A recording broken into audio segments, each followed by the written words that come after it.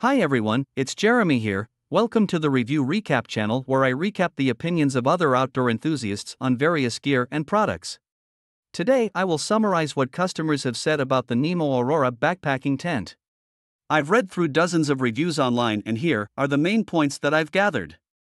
The Nemo Aurora backpacking tent received mixed reviews, but overall, the general consensus is that it is a decent and comfortable tent for backpacking if it is set up correctly.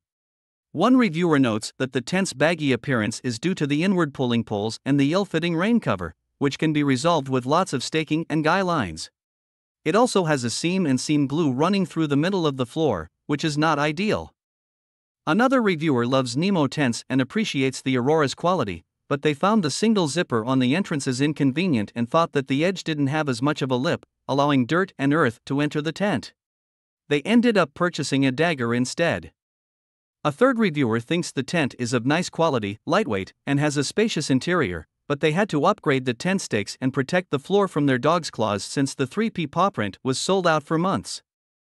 Finally, one reviewer mentioned that the Nemo Aurora is a great quality tent for the price, though it is heavy for a backpacking tent, and they wished there were two zippers for each of the doors.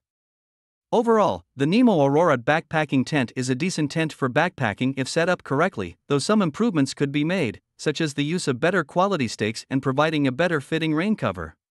It is of good quality for its price point, and if you don't mind some inconveniences like the single zipper entrance and having to protect the floor from your pet's claws, it is a great option. However, if these issues are significant to you, it might be worth exploring other options like the Marmot Tungsten 2P or the Nemo Dagger. That's it for my review recap of the Nemo Aurora backpacking.